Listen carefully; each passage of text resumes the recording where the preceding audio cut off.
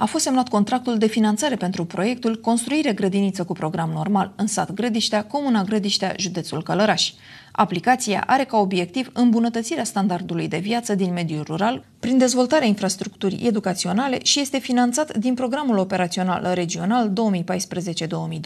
Astfel, prin construirea grădiniței cu program normal, 60 de preșcolari vor beneficia de activități educaționale desfășurate într-un cadru optim, în condiții comparabile cu cele din zonele urbane.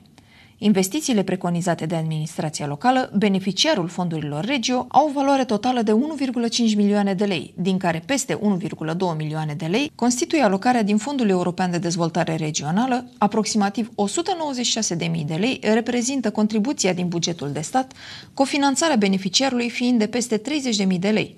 Proiectul va fi implementat în 42 de luni în perioada 1 mai 2018-30 noiembrie 2021.